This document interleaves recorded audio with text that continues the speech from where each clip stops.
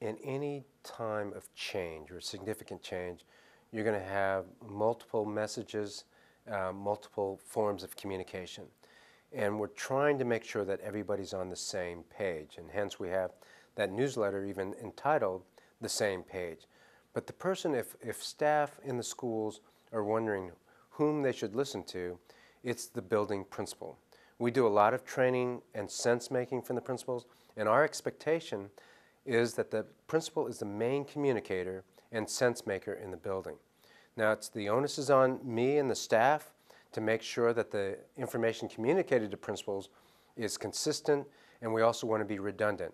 So other sources of information that you'll find are in the same page, the instructional Q&A, the open mic videos, uh, such as this one, the open mic meetings, the um, WAIP that the school leadership department puts out, multiple sources of information, and we ensure that the information contained in those various resources are all the same.